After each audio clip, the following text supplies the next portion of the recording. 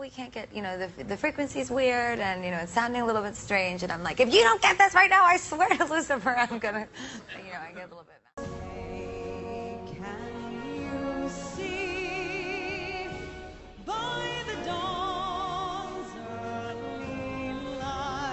that while worshiping Satan and praising Judas live in concert, Gaga further identifies with Judas by depicting herself as hanging herself on stage.